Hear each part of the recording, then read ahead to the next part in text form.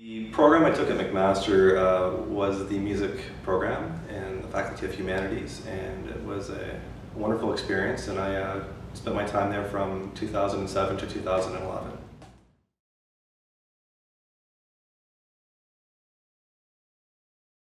I currently work for the Royal Conservatory of Music. Um, my position is um, Marketing Communications Associate. What I do, uh, I work on print publications and uh, digital um, communications. Uh, being uh, Music Matters is a very kind of, um, you know, quarterly uh, newsletter that gets sent out to all the teachers who have a Royal Conservatory teacher number.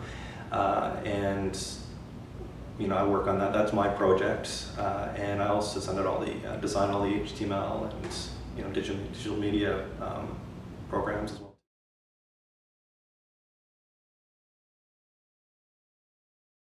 My typical workday uh, begins with a two-hour commute um, from Hamilton to Burlington and then Burlington to Toronto.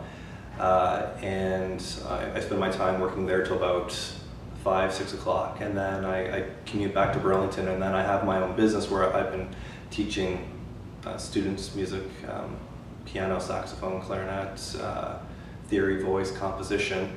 And I do that about six days a week so it keeps me rather rather busy. I only have Saturday and Monday off, so it's, it's busy. But McMaster gave me the tools to, you know, kind of figure out how to make my day more impactful and, and think about where, where I wanted to go with, with my career.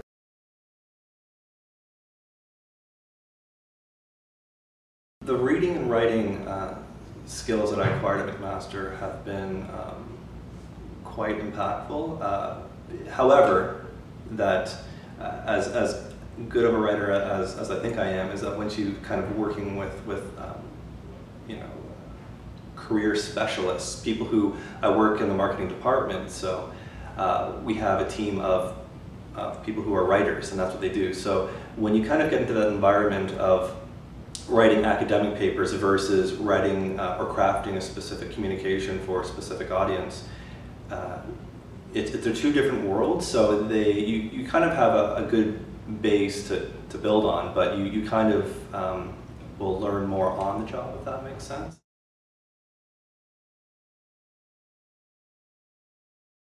I was an adult student who was returning to school, so, so my, my focus was um, to really get into the university, get into the academics, really get into um, finishing up my degree and, and, getting back into the, the working world.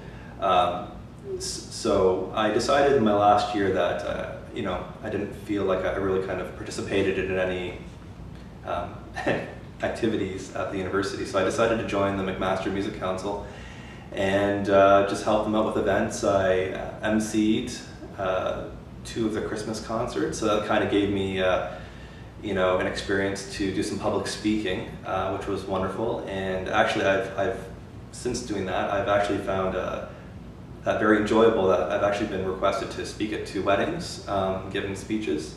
So that's been uh, something I guess the McMaster Music Council was able to allow me to experience.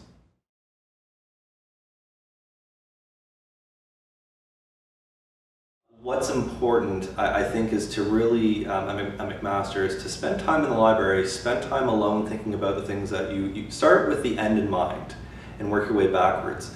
Um, a lot of people, uh, for myself, I found, I found that very challenging because I'm someone who's interested in many things. Uh, so I went to a lot of um, career counseling and, and, things like that to find out, well, what is my identity? What am I actually good at? Because the things that you think you might be interested in, you may find that you, you may not love when you, once you get on the job. Uh, so how do you discover that recipe? I don't have an answer for that. Um, you really ultimately have to make that answer. I would suggest students start with the end in mind and find a mentor, find someone who's actually doing what you're doing, find out what their hardships were. Um, that would be my suggestion. Uh, I, I know a lot of music students want to become music teachers, but what a lot of music students don't do is they don't do the research until their last year. And then they realize that uh, some of the courses are only offered every other year and to get all the necessary uh, full credits you know you, would have to actually build a time machine and go back or stay for an extra year or two years just to acquire that. But if they did all that legwork at the very beginning, then they would have the necessary answers to make better choices.